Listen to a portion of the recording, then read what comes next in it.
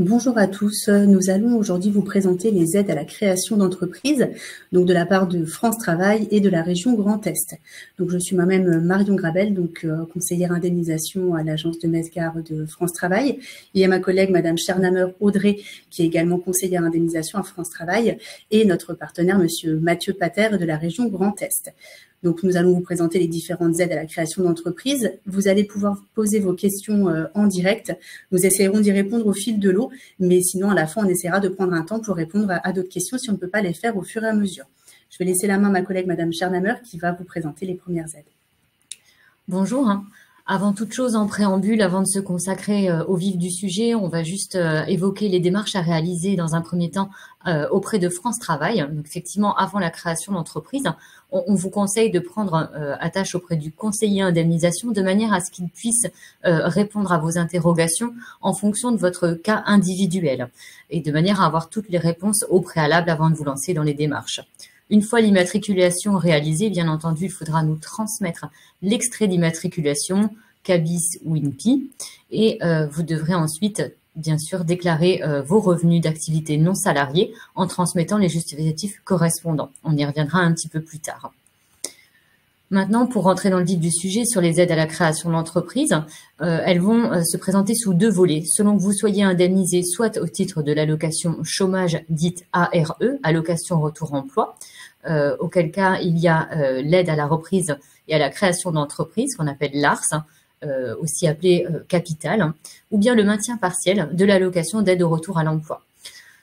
Dans le second temps, si vous êtes indemnisé au titre de l'allocation de solidarité spécifique dit ASS, il y a deux dispositifs, l'ACRE ASS ou bien le cumul de l'ASS avec une activité non salariée. Attention, dans tous les cas, vous devez être impérativement inscrit comme demandeur d'emploi pour pouvoir prétendre à une aide à la création d'entreprise. Comme on l'a dit tout à l'heure, l'aide à la création d'entreprise se présente sous deux options. Donc, lorsque vous êtes sous l'allocation chômage, la première option est le versement de l'aide à la reprise et à la création d'entreprise euh, sous la forme de capital, ou la deuxième option qu'on appelle le maintien partiel de votre allocation. À noter que l'aide à la reprise et à la création d'entreprise, l'ARS, ne peut pas se cumuler avec le versement de votre allocation chômage.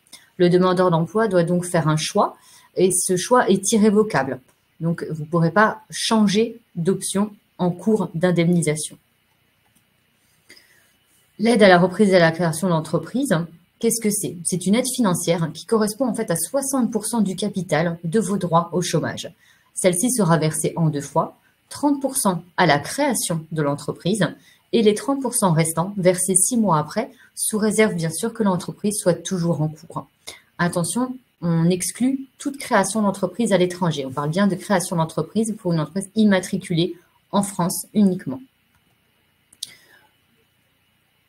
Quelles sont les conditions d'attribution euh, pour l'ARS, donc le versement du capital? Il faut avoir créé ou repris une entreprise en France après la fin de contrat de travail qui a permis l'ouverture de droits. Il faut bénéficier de l'aide aux créateurs repreneurs d'entreprise qu'on appelle ACRE. C'est une exonération partielle ou totale de vos charges sociales pendant un an qui est délivrée par l'URSSAF. Le justificatif d'attribution de l'ACRE est obligatoire notamment pour les micro-entrepreneurs. Il faudra ensuite déposer une demande auprès de France Travail via un formulaire que le conseiller vous euh, enverra directement. Que deviennent les allocations ARE, donc les allocations chômage qui n'ont pas été versées? En cas de cessation de l'activité de l'entreprise hein, pour laquelle vous avez bénéficié de l'ARS, il y a une possibilité de reprise du reliquat des droits non consommés, donc des 40% restants puisque les 60% ont déjà été versés dans ce cas de figure. Ceci sous réserve bien entendu que le droit ne soit pas déchu. Dans le cas où l'activité serait toujours en cours, il y a également la possibilité de reprendre votre reliquat de droit, mais à condition de justifier d'une nouvelle fin de contrat de travail après l'attribution de l'ARS, donc après le versement effectivement de ce capital. La deuxième option maintenant, c'est le maintien partiel de l'allocation. Donc celle-ci, elle va se décliner en fonction de la forme juridique de l'entreprise. Le premier volet, ce sont les micro-entrepreneurs. Lors de la déclaration mensuelle, parce qu'elle peut se présenter sous forme mensuelle ou trimestrielle, donc là on s'adapte au cas du mensuel, vous allez indiquer lors de l'actualisation le montant que vous allez déclarer à l'URSSAF.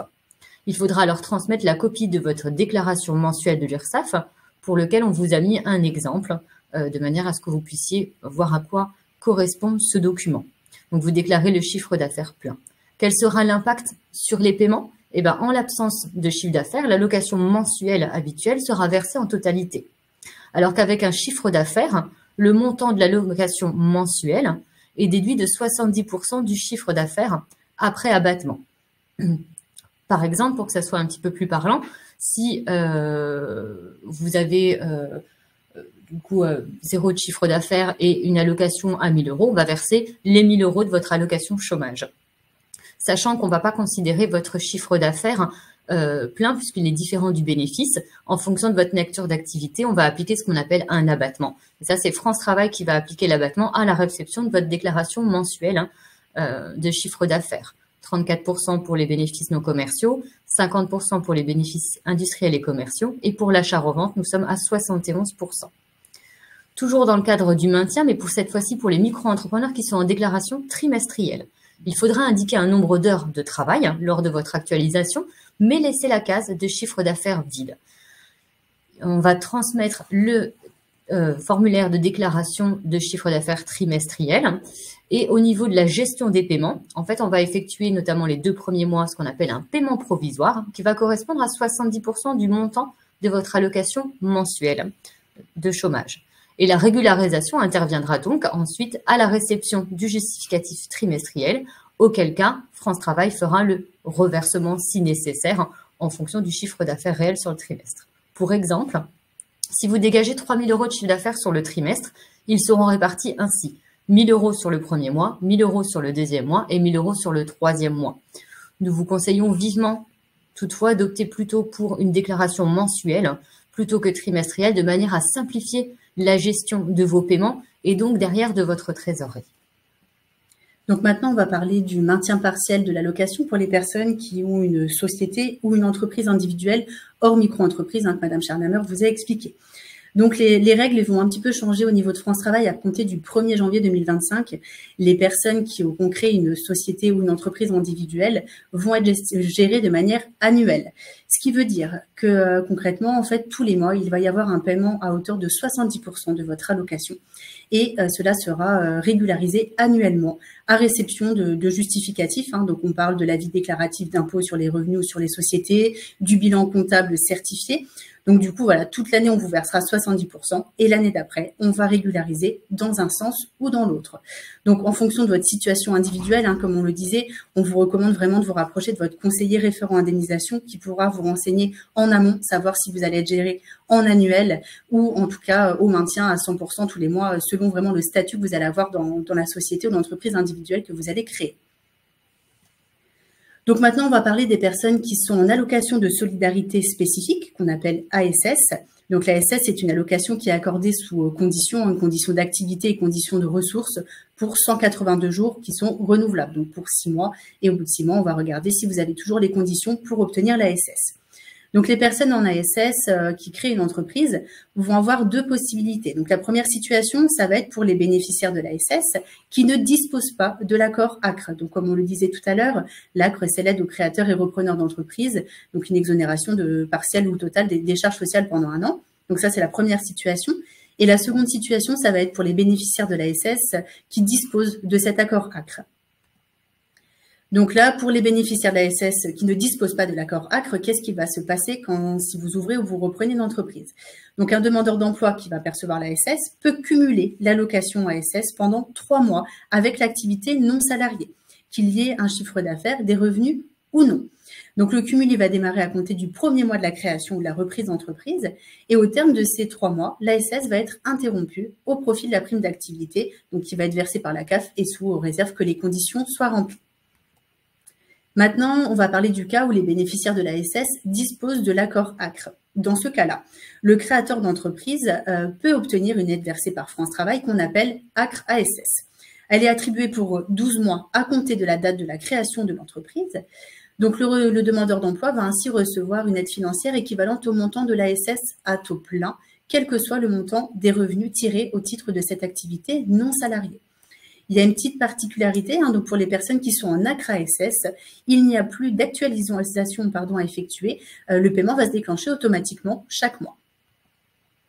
Donc, quelles sont les conditions d'attribution de, de l'ACRA-SS Donc, il faut avoir créé ou repris une entreprise en France après la fin de contrat de travail qui a permis l'ouverture de droit à l'allocation chômage.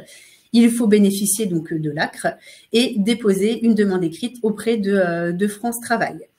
Euh, donc, on a aussi une petite particularité hein, pour les personnes qui ont créé leur entreprise en cours d'indemnisation chômage et qui ouvrent ensuite un droit SS. Donc, ces personnes vont pouvoir bénéficier de l'ACRA SS. Par contre, les 12 mois d'ACRA SS se verront réduits du nombre de mois déjà perçus au titre de l'ARE. Maintenant, on va faire un petit point aussi sur les démissions reconversion professionnelle. Donc, si vous souhaitez démissionner pour créer votre entreprise, euh, donc avant toute chose, avant de démissionner, il faut vérifier que vous remplissez les conditions spécifiques pour permettre de bénéficier de l'allocation chômage malgré la démission.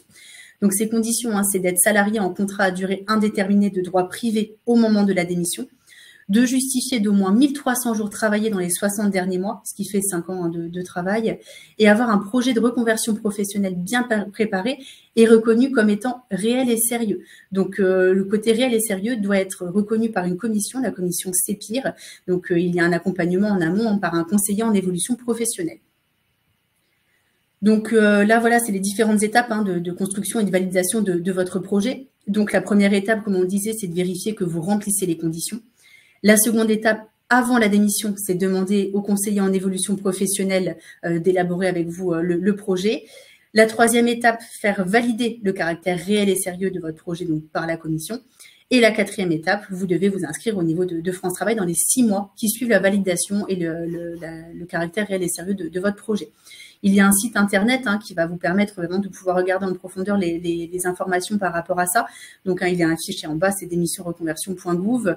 Et vous avez également un numéro de téléphone hein, pour, pour pouvoir prendre attache avec un conseiller qui pourra effectivement vous renseigner au cas par cas. Donc, euh, comme on disait hein, tout à l'heure avec euh, Madame Chernamer, il faut vraiment prendre attache avec votre conseiller référent indemnisation dès que vous avez ce projet de création de reprise d'entreprise. Comme ça, ça vous permettra vraiment d'avoir une vue d'ensemble et euh, de, savoir à quelle, quelle possibilité vous allez pouvoir avoir dans votre cas spécifique, selon la forme juridique, le statut dans l'entreprise et de votre situation individuelle. Donc, du coup, je vais, je vais passer la main à mon collègue, hein, Monsieur Pater de, la région Grand Est. Merci beaucoup. Euh, donc Mathieu Pater, chargé de mission animation écosystème de l'entrepreneuriat au sein de la région Grand Est. Et aujourd'hui, je vais vous présenter les aides à la création reprise d'entreprise euh, que soutient la région Grand Est, que, qu'a créé en fait la région Grand Est. Euh, la principale aide dont je vais vous parler aujourd'hui, hein, ça va être l'échec créa. Il faut savoir que c'est un, dispositif qui est, qui est cofinancé par, par l'Union européenne. L'idée de ce dispositif, c'était de remettre le créateur au centre du dispositif, c'est-à-dire que c'est le c'est le demandeur en fait qui va, euh, euh, en fonction de son besoin, euh, déterminer déjà le, chèque dont il a besoin, mais surtout demander une aide, une aide directe auprès de, auprès de la région dans le cadre de sa démarche de création. c'est pour ça que le site de la région Grand Est en fait est port d'entrée du dispositif. Hein. C'est via uniquement cette cette porte d'entrée là que vous pourrez faire votre demande. Donc c'est un site dédié. Vous, pourrez facilement retrouver en, faisant une recherche Google d'ailleurs. Hein, si vous faites recherche chèque créa grand test, vous arriverez très facilement sur le, portail dédié. Et ça vous permettra, euh, donc cette aide directe, d'accéder à des accompagnements auprès d'experts labellisés euh, par la région Grand Est. Donc qu'on a labellisé, donc on a euh, déterminé qu'ils avaient des compétences, une expertise dans différentes typologies de métiers. Et euh, ces experts-là, euh, dont d'ailleurs font partie la Chambre des métiers, hein, euh, sont, sont, labellisés pour vous accompagner en échange de ces chèques créa. et justement, quand je dis en échange de ces chèques créa, parce que le chèque créa, en fait, c'est un, un, ticket de règlement en quelque sorte, qui vous donne accès à l'accompagnement. Vous pourrez que l'utiliser auprès d'experts labellisés et que pour l'accompagnement pour lequel vous avez été, vous avez été validé. Euh, l'échec comment ça marche? Qu'est-ce que ça, quelle période aussi ça de, de, de, du projet ça, ça va couvrir? Euh, Alors on n'est pas sur l'idée, hein, c'est-à-dire que l'idée, euh, euh, il y a d'autres, comment dire, d'autres accompagnements, d'autres, euh, d'autres aides qui existent à ce niveau-là. nous, on va vraiment intervenir sur la formalisation du projet une fois qu'on veut vraiment concrétiser son projet, notamment sur l'idée d'évaluer et valider l'idée, euh, d'étudier le marché, de chiffrer le projet, euh, de choisir la structure juridique et aussi, euh, bien sûr, de, trouver comment financer le projet. On a sur ces, étapes-là, on a fait on a, six chèques créa, dont je vais vous parler un petit peu plus après. plus un outil d'accompagnement dont je vous parlerai également qui s'appelle Format Créa, qui est en fait un outil de formation. L'idée c'est pas de vous former à comment dire au métier de boulanger, au métier de, soudeur. L'idée, c'est de vous former au métier de chef d'entreprise, en fait. C'est vraiment ça que, qu'a pour objectif ce, ce, format créa. Et l'échec créa, euh, je vais un peu caricaturer, mais c'est un peu comme les travaux pratiques. C'est-à-dire que vous allez appliquer ce que potentiellement vous pourriez apprendre dans format créa euh, pour votre projet à vous. Euh, on s'arrête pas au projet, hein, on continue même au-delà, puisque on a aussi un, suivi post-création euh, jusqu'aux trois ans de l'entreprise qui peut vous être proposé également sachant que, comme je l'ai dit, euh, on a en tout sept chèques créa, donc, comme vous l'aurez compris. Et ces sept chèques créa, en fait, ils ont vocation à euh, couvrir vraiment l'ensemble du parcours de la création de reprise d'entreprise. Euh, je vais peut-être revenir en arrière pour vous faire un, bref descriptif, mais vous avez trois typologies de chèques. les chèques du financement, donc prêt d'honneur, garantie, microcrédit. les chèques plutôt autour de l'accompagnement du porteur de projet et du chef d'entreprise, qui sont la préparation de projet et du post-création. Euh, L'idée dans, la préparation de projet, c'est que vous allez essayer de déterminer quel est votre votre votre votre besoin en financement, votre votre faire une étude de marché. Euh, vous allez déterminer ce genre de choses là. Euh, sur la support de création, bah, comme je l'ai dit, hein, c'est le suivi de la jeune entreprise. Si vous rencontrez des difficultés, si vous avez besoin de faire des investissements, euh, c'est avoir un conseiller qui peut vous aider aussi à, à, activer les bons experts, à, avoir les bonnes les bons réflexes. Et après, on a le, ce qu'on appelle le test d'activité. Alors, le test d'activité, tout simplement, c'est comment, euh, quand on ne maîtrise pas encore euh, le modèle économique de son marché, on va essayer de le tester, de vérifier s'il est viable économiquement. Et donc, les financements, prêt d'honneur garantie microcrédit, prêt d'honneur garantie qui fonctionnent très bien ensemble. Euh, le prêt d'honneur et la garantie, c'est quasi systématiquement associé à un prêt bancaire. L'un va vous permettre d'avoir un prêt à taux zéro, l'autre va venir garantir le prêt bancaire. Et le microcrédit, c'est justement quand on n'a pas accès à ce outil bancaire, on va le mobiliser pour pouvoir quand même avoir un financement sur son projet. Les demandes de chèques, alors comment, comment ça marche? Euh, En fait, c'est des... Euh, c'est des euh, alors je, vois des questions, mais en fait, je vais, je vais y répondre au fur et à mesure de, mon déroulé, donc c'est pour ça que je n'y réponds pas forcément maintenant. les structures justement qui sont labellisées, en fait, vous le saurez en faisant votre demande. C'est-à-dire que le coupon de règlement que vous voyez à droite euh, de, l'écran ou à droite, alors vous voyez pas très bien, là vous voyez que le recto. Euh, au verso de ce, coupon de règlement, en fait, il y a la, liste des opérateurs qui sont labellisés sur votre territoire et sur le chèque créa que vous avez demandé. Donc ça, c'est euh, systématique. Vous aurez cette liste-là qui apparaîtra sur votre chèque créa une fois que vous l'aurez obtenu. Sachant que pour l'obtenir, il faut faire partie des publics éligibles en l'occurrence les demandeurs d'emploi, qui sont un public cible euh, euh, assez, assez important, hein, ça représente quasiment 80% euh, de, notre public. Les jeunes de moins de 30 ans aussi, c'est un public important aussi qu'on accompagne. Et enfin, les salariés engagés dans, dans le dispositif d'émission reconversion, à qui on donne accès, sous réserve bien sûr qu'ils aient fait l'entretien avec le conseiller en, en, évaluation professionnelle et que le projet a été validé à ce niveau-là. Et depuis peu, sur les chèques financement, on ouvre aussi au projet de reprise, euh, quel que soit le, le, public. Euh, mais ça concerne vraiment que les chèques financement dont je parlais tout à l'heure, prêt d'honneur, garantie, microcrédit. Je vois qu'il y a une question sur les prêts d'honneur. Alors les prêts d'honneur, on peut les cumuler, euh, cela dépend. Euh, on a le droit à un chèque créé prêt d'honneur qui donne accès à un, prêt d'honneur en théorie. Après, certaines structures euh, vont vous proposer des outils d'accompagnement, de financement plutôt différents ils peuvent vous proposer plusieurs prêts d'honneur en fait dans le cadre de ce, du, financement de votre projet. Euh, pour faire votre demande, euh, donc ça se fait en ligne via le chèque, chèque Créa Grand Est, mais comme je vous l'ai dit, vous trouvez l'adresse assez facilement. Et euh, ça se fait avec des opérateurs labellisés, uniquement avec ces opérateurs-là. ça évite aussi de, d'avoir euh, des opérateurs qu'on ne connaîtrait pas, qui n'ont pas été euh, validés euh, professionnellement et techniquement par, les services de la région. Donc, c'est aussi une garantie pour vous d'avoir, a priori, dans une très très très large majorité des cas, un, travail de qualité. alors, je vois une question sur les publics handicapés. Alors, il faut savoir que dans les opérateurs labellisés chez CREA, on a des, des structures qui sont attributaires du marché AGFIP et qui peuvent accompagner particulièrement euh, ce, ce, type de public.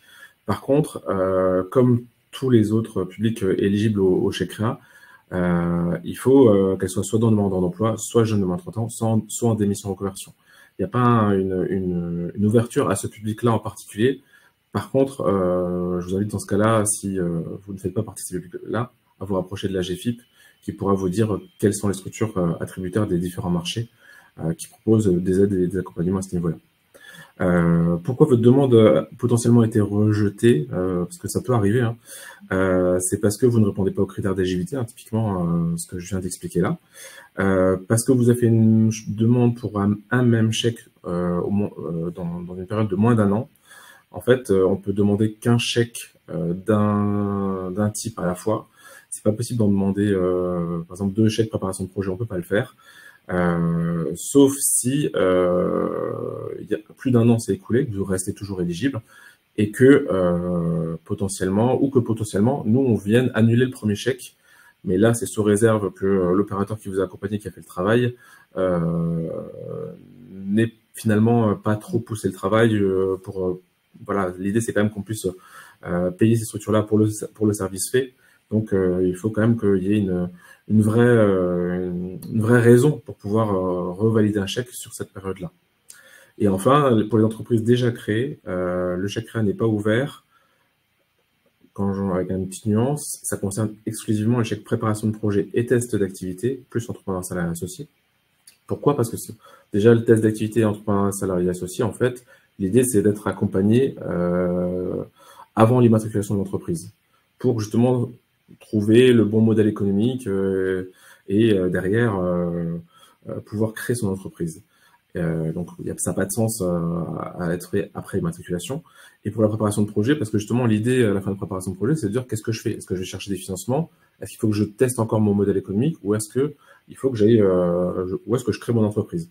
Donc, ça n'avait pas de sens non plus à ce stade de, d'accepter la, création.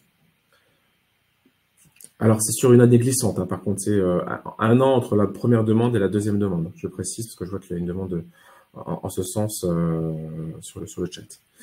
Euh, parfois, on va pouvoir vous demander de compléter votre demande aussi. C'est si on juge que le dossier est incomplet, ça peut arriver. il y a des petites pièces qui, des petites questions qui peuvent se poser quand on va étudier les demandes. Euh, ou qu'une pièce attendue n'est euh, pas la bonne ou qu'elle est périmée, ça peut arriver aussi. Hein, donc veillez bien à ce que votre pièce d'identité qui va vous être demandée systématiquement, ou, si je dis pas de bêtises, euh, soit, soit en cours de validité, euh, parce que sinon on va vous demander effectivement de compléter ou de corriger votre demande. Et parfois aussi, ce qui peut arriver, c'est qu'on va vous rediriger. Alors, euh, pas d'inquiétude, hein, c'est pas parce que vous n'êtes pas éligible, euh, c'est parce que parfois il peut exister, notamment dans les projets agricoles, euh, des projets qui euh, sont, enfin des aides de la région qui sont plus avantageuses, notamment pour l'installation agricole. Donc nous, en fait, systématiquement, on réoriente et même on les a rendus d'une certaine manière inéligibles. En fait, on les accepte plus parce qu'on a d'autres dispositifs qui sont plus euh, plus adaptés. De la même manière, les projets de reprise, tout à l'heure j'évoquais, les projets de reprise, il y aura un autre dispositif qui pourra vous accompagner euh, en ce sens. Et euh, après, parfois, quand on n'a pas de réponse, alors je l'ai pas précisé, mais généralement le temps de réponse c'est entre 3 et 4 jours maximum. Euh, il peut arriver que ça prenne plus de temps, euh, notamment en période de vacances. Je vous cache pas, on est, on est, on est assez peu nombreux à pouvoir traiter ces, ces, ces chèques-là, donc parfois il y a des petits, des petits retards qui peuvent arriver, mais dans l'ensemble, c'est en moyenne ce, ce, ce rythme-là.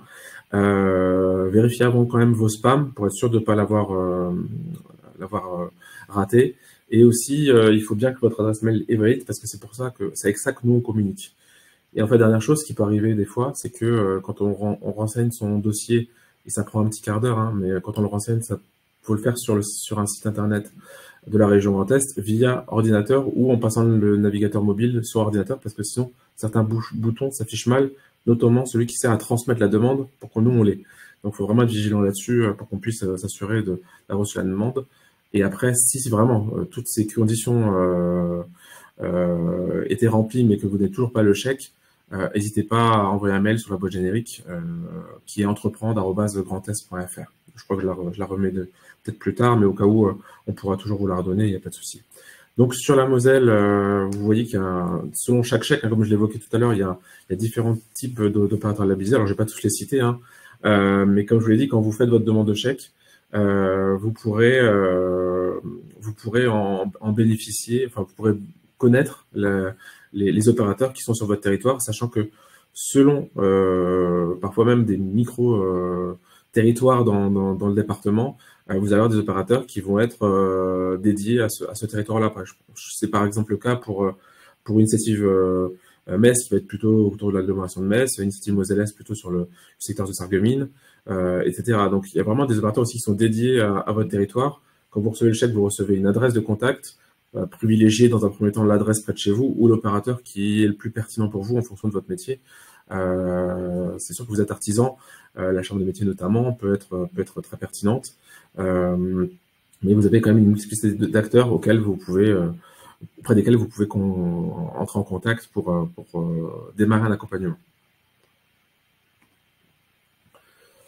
Donc voilà pour, pour l'échec créa. L'autre dispositif que, que, je, voulais évoquer avec vous, alors euh, c'est formats créa, hein, je vous l'ai dit, c'est un, outil vraiment complémentaire, c'est euh, le cours magistral de certaine manière de, euh, de l'accompagnement à la création d'entreprise.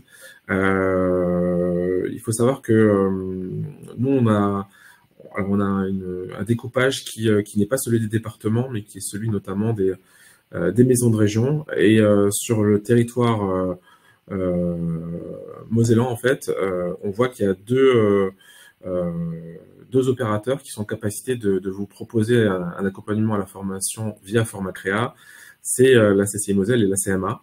Euh, donc ces deux, ces deux acteurs-là peuvent intervenir sur euh, la majorité de, de, la formation qui va vous être proposée.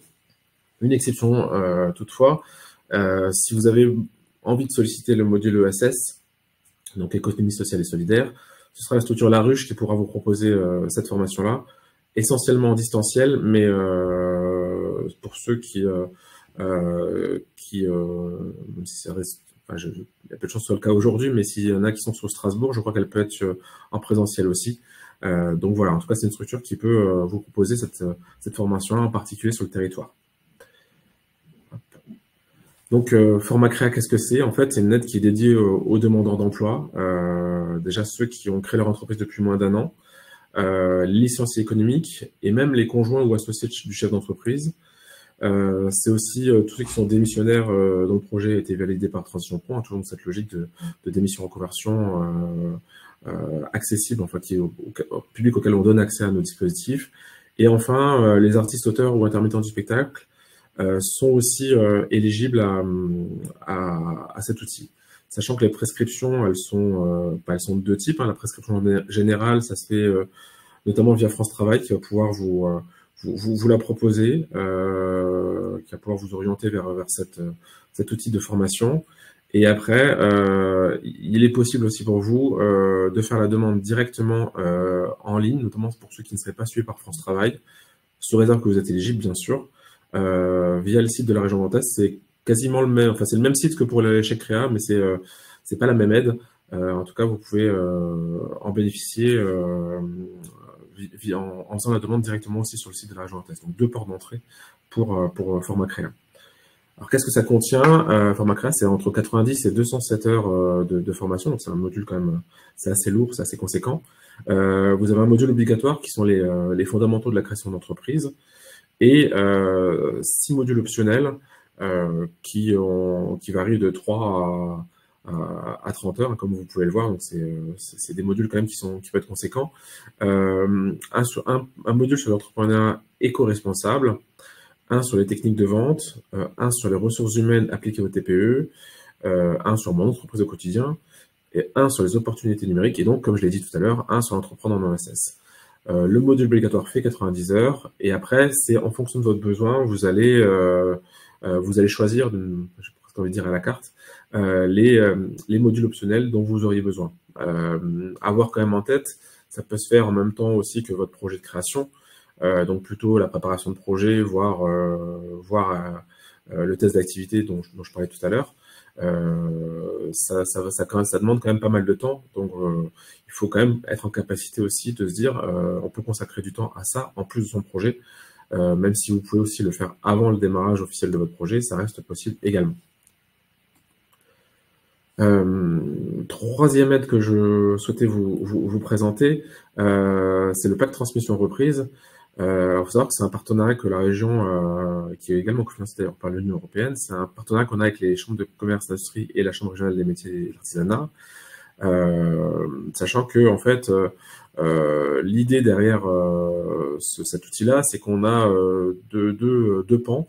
un côté, une information, une sensibilisation des publics à la reprise, à la transmission d'entreprise, euh, sachant que c'est avec euh, les chambres consulaires qu'on, ceux qui on s'appuie que, que, que, vous allez pouvoir euh, avoir cette information-là via souvent des, des réunions collectives qui sont organisées par, par, par les deux chambres. Et en plus de cet accompagnement collectif, vous allez avoir un accompagnement individuel, euh, associé à un diagnostic également, euh, à la fois pour ceux qui cèdent leur entreprise, donc euh, pour les cédants, et pour les repreneurs d'entreprise, l'idée étant euh, de, de, faire au mieux se matcher euh, euh, les profils pour pouvoir faire en sorte qu'il y ait des sessions qui se passent bien et des reprises qui se passent bien. C'est vraiment un, dispositif d'accompagnement avant la reprise, mais aussi après la reprise, puisque vous n'êtes pas non plus là lâché complètement dans la nature et vous pouvez quand même continuer à être accompagné. Et euh, comme vous l'avez constaté, euh, peut-être et comme vous l'aurez retenu, j'espère, euh, tout à l'heure j'évoquais le fait d'une ouverture au projet de reprise seulement sur l'échec créa financement. C'est aussi parce qu'on a cette, ce dispositif-là euh, qui couvre l'accompagnement avant la reprise sur la préparation de projet, si je puis dire, et on a le suivi post-reprise, donc des équivalents de ce qu'on peut retrouver dans l'échec créa, avec une adaptation de, de, de l'accompagnement à la reprise et on n'avait pas forcément d'équivalent sur le financement. Donc, euh, c'est pour ça qu'on a ouvert sur euh, l'échec réa pour ces publics-là, pour qu'ils puissent y avoir aussi euh, le lien qui est fait entre, nos différents dispositifs. Donc, voilà ce que je pouvais vous dire sur la reprise, la reprise d'entreprise. Je vois qu'il y a une question sur, sur Format Créa. alors, après la démission, a priori oui, parce que vous seriez potentiellement demandeur d'emploi. Euh, et les demandeurs d'emploi font partie des publics euh, éligibles à, à, format créa. Donc, euh, après la démission de conversion, vous pouvez effectivement être éligible, bien sûr. Dernière aide, alors concerner peut-être un public un peu moins large, c'est l'entrepreneuriat des jeunes. Alors c'est une aide cette fois-ci qui, est une aide financière, c'est une aide à, l'investissement et au démarrage de, jeunes entreprises porté par des, cette fois-ci des jeunes entrepreneurs aussi, puisqu'il doit avoir euh, entre 18 et 29 ans. Euh, alors il faut que pour, pour être éligible, qu'il soit accompagné par une structure spécialisée dans le conseil et l'accompagnement à la création d'entreprise, typiquement euh, les, chambres consulaires et tout opérateur chèque créa aussi, ça fonctionne très bien. Les projets peuvent être portés à seul ou à plusieurs. Et pour pouvoir comment dire, bénéficier d'aide, il faut présenter, être en capacité de présenter euh, le projet devant un jury. Euh, donc il faut pouvoir en amont démontrer la faisabilité du projet et euh, il faut que celui-ci ait quand même une, perspective de création d'emplois à moyen terme, sachant que si l'entreprise est déjà créée, il faut que celle-ci ait moins d'un an au moment de la candidature. Donc la méthode de sélection, comme vous l'avez compris, hein, ça se passe par un jury, il y en a trois par an. Alors là, pour, euh, pour cette année, ça va être compliqué de déposer des dossiers si vous êtes encore euh, euh, à l'étape du projet, mais sachez que voilà, il y a, on peut ne pas avoir créé pour candidater. Généralement, on, estime qu'il faut entre faut qu'on soit à six mois et qu'on ait de très bonnes chances de créer pour pouvoir candidater. donc, il faut qu'il y ait un dépôt de dossier pour la prochaine, prochaine commission qui soit fait au 31-12-2024. Euh, mais comme vous voyez, il y a d'autres jurys. Euh, ça, c'est pour le jury de, Reims, sachant que d'où que vous soyez de la région, vous pouvez candidater. Euh, le prochain, le jury suivant sera à Strasbourg et le dernier sera à Metz, avec une candidature au plus tard au 31, au, 30 juin. Je vois qu'il y a une petite erreur de le 31 juin. Je crois pas qu'il existe encore. Euh, voilà, et c'est euh, une aide qui doit vous permettre de enfin de, bénéficier au maximum de 50% des dépenses éligibles. Donc, comme je le dis, c'est une aide à l'investissement, donc il avoir un projet derrière. Euh, mais ça peut couvrir des choses assez larges comme des prestations de services, des achats de matières et de fournitures, de la location, d'assurance, etc. Et il faut savoir que l'aide est plafonnée à 5000 euros. Euh, donc c'est une aide quand même qui euh, qui est pas très élevée, hein, mais qui euh, qui permet quand on démarre notamment de donner un bon coup de pouce euh, dans votre dans votre projet de création.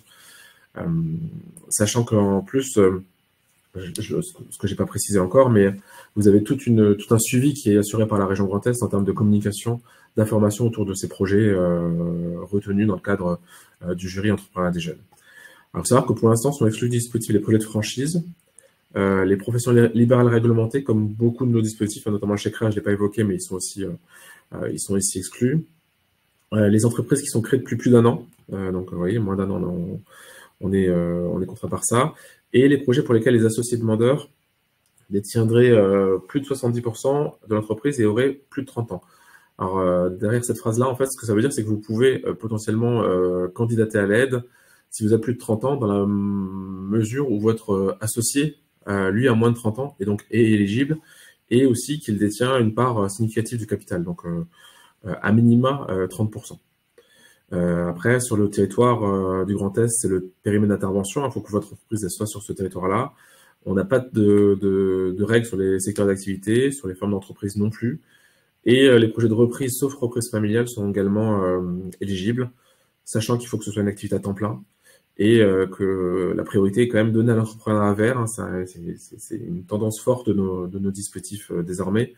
Euh, donc il faut avoir potentiellement, alors c'est pas une obligation, mais c'est c'est plutôt vers cela qu'on va s'orienter, qui donne une, qui répondent aux enjeux environnementaux et sociétaux. Et sachant que un nouveau règlement va apparaître au 1er juillet 2025 avec quelques quelques justement bonifications sur ces sur ces publics là. Donc voilà, je crois que j'arrive au bout de la, présentation. Euh, alors, je ne sais pas si j'ai vu toutes les questions. J'ai essayé d'y répondre au fur et à mesure. Il y en avait euh, une, effectivement, sur euh, l'ACRA-SS en, tout début, si tu me permets de reprendre la parole. Euh, sur l'ACRA-SS, euh, vous demandiez tout à l'heure effectivement euh, si on avait bénéficié de l'ARE, donc de l'allocation chômage avant, et qu'ensuite on arrive en épuisement de droit et qu'on ouvrait un droit à l'allocation de solidarité. C'est le petit cas particulier qu'on avait évoqué. L'ACRA-SS, il est plafonné à 12 mois. Si par exemple vous aviez eu 3 mois d'allocation chômage classique versée avant d'épuiser vos droits et de basculer en ACRA SS et vous avez créé justement trois mois avant la fin de votre droit à l'SS, vous aurez donc trois mois d'ACRA, euh, enfin, comment, comment, expliquer, pardon. Euh, vous avez en tout 12 mois, donc il y aura les trois mois d'allocation chômage, et ensuite votre ACRA SS, comme elle sera diminuée des trois mois d'ARE déjà versés, il vous restera donc neuf mois versés au titre de la SS à taux plein euh, d'éligibilité à cette aide. Je crois que c'était la dernière question qu'on avait. Il nous reste un petit peu de temps si jamais on a une dernière question euh, qui se présente. N'hésitez pas. Après, dans tous les cas, on sera présent hein, demain euh, au Salon Go, hein, donc à la Chambre des métiers. Donc, que ce soit Monsieur Pater ou, nous-mêmes au niveau de France Travail, on aura des stands.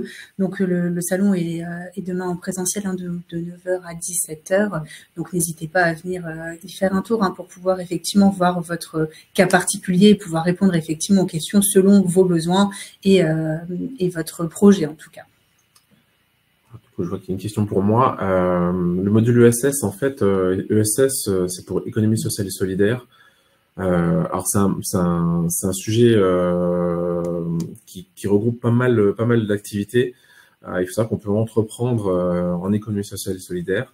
C'est parfois réfléchir à des, à des modèles, notamment d'entreprise, à des, à des formes d'entreprise qui sont différentes. Hein. Je pense en particulier aux, sociétés coopératives, les scopes hein, que vous connaissez peut-être. Pour ceux qui ne savent pas, par exemple, l'échec, l'échec déjeuner, c'est, c'est, une scope. Enfin, c'était une scope, je crois que c'est là encore. Euh, et vous avez aussi ce qu'on appelle, alors ça sera un, peu moins le cas pour, euh, euh, pour les projets que vous seriez amené à porter, mais on a aussi ce qu'on appelle les SIC. Donc, c'est sociétés collectives d'intérêt collectif. C'est, sociétés coopératives d'intérêt collectif, pardon, euh, qui sont euh, aussi hein, une forme une forme assez particulière de d'entreprise dans lesquelles vous avez différentes parties prenantes, parfois même des acteurs publics qui peuvent être partie prenante dans, la constitution du projet, ça peut arriver, mais c'est des formes vraiment très très spécifiques. Euh, et l'idée c'est de vous former à ces, thématiques-là parce que ça peut être des thématiques très intéressantes. Euh, je vous ai parlé des formes d'entreprise, mais il n'y a pas que ça derrière. Il y a aussi euh, une façon d'entreprendre qui est différente, une façon de répartir le, le, les résultats du capital aussi et du travail différemment. Enfin bref, il y, a, y, a, pas mal de choses qui sont intéressantes sur l'économie sociale solidaire qui est et qui euh, sont souvent source d'innovation sociale et sociétale, euh, qui, euh, qui, peuvent être intéressantes de, d'aborder dans le cadre de, cette formation-là. Donc c'est vraiment un sujet qui... alors, à ma connaissance, on peut choisir l'ensemble des, modules si on le souhaite. C'est-à-dire que si vous, il y, a le module obligatoire, et après, vous choisissez le, nombre de, de, modules dont vous avez besoin, dont vous avez envie. Euh, mais euh, après, voilà, c'est euh, c'est ça peut aller jusqu'à 207 heures, donc c'est quand même un, un, comment dire, un nombre conséquent d'heures. il faut être pouvoir, il faut pouvoir être en capacité de, de suivre l'ensemble de ces modules. Il faut pouvoir en avoir besoin aussi.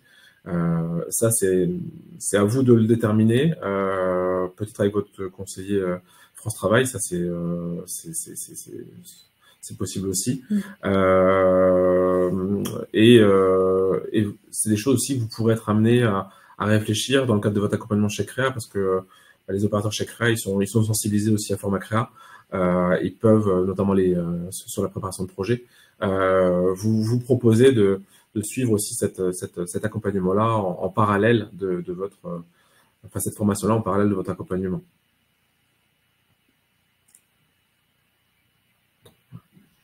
Donc normalement, on a répondu un peu à, toutes les questions hein, qui ont été posées au fil de l'eau. Donc euh, comme on le disait, on sera présent demain, donc on pourra, on pourra revoir les choses.